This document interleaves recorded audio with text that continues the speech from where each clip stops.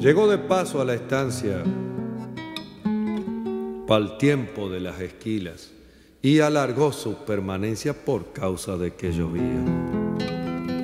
En una esquina el galpón le hizo tabique una estiva, tendió el catre, de un alambre colgó sus escasas pilchas y al no encerrar la majada y andar de gusto esos días, para no pasarla aburrido ayudó lo que podía, juntar marlos para hacer fuego, arreglar unas bebidas, cortar lonjas, sacar tientos, desgranar para las gallinas.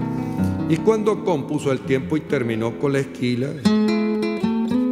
se quebró un peón y quedó para reemplazarlo unos días después en la misma estancia otras changas que salían del galpón pasó a las piezas que para los peones había y como el tiempo se escapa y, y se amontonan los días, ya van, ya van como 20 años que aquel segundo Molina es un hombre pa' patrón, ya no es más peón golondrina.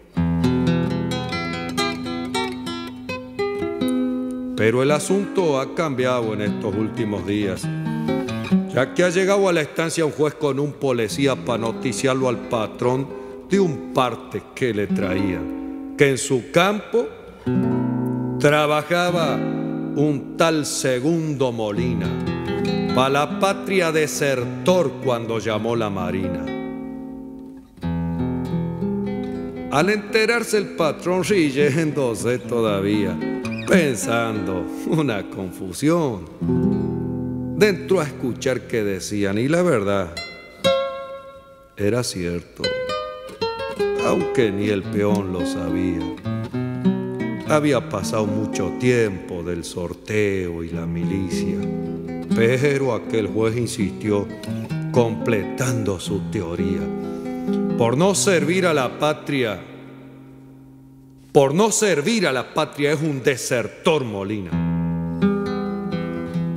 Esas palabras cayeron pa'l patrón como agua fría y levantando la voz entró a sangrar por la herida. ¿Cómo?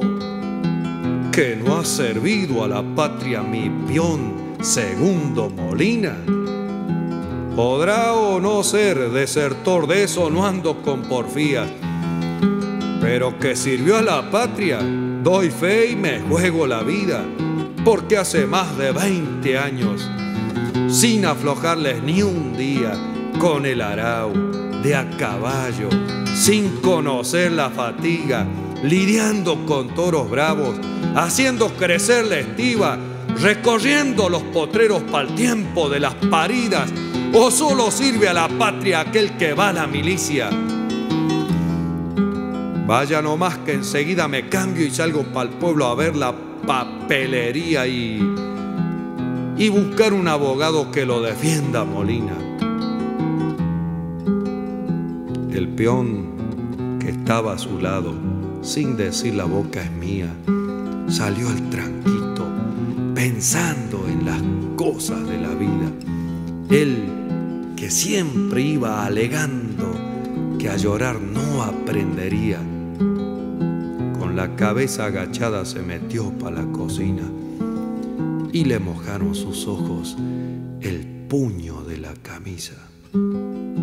Mientras, mientras seguía escuchando lo que el patrón repetía.